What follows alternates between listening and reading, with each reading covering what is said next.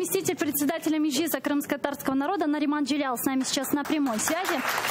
Нариман Ага, селям алейкум.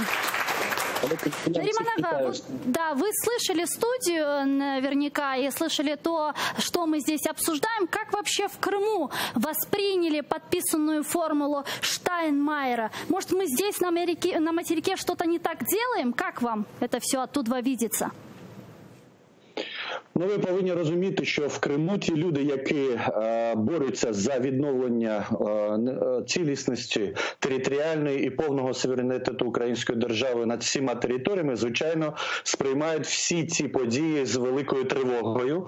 Е, дуже великі запитання, багато запитань до тих, хто сьогодні приймає подібні рішення, і це знову ж е, виходить з того, що е, влада не бажає консультуватися, не бажає пояснювати те, що вона робить, як вона це робить і до чого це може призвести. Не хоче ми це бачимо спілкуватися з іншими політичними таборами, з опозицією нравиться вони чи не нравиться, і з тими, хто сьогодні є е, активними громадянами, тобто з громадським суспільством, що може призвести до е, дуже, е, на мій погляд, небажаних подій. Хтось каже про майдани нові і так далі. І дуже багато людей в Криму навіть опасаються того, що новий майдан який може з'явитися сьогодні на от як відповідь на такі виклики, якраз провокується тими, хто хоче залишити Україну от такою розчленованою.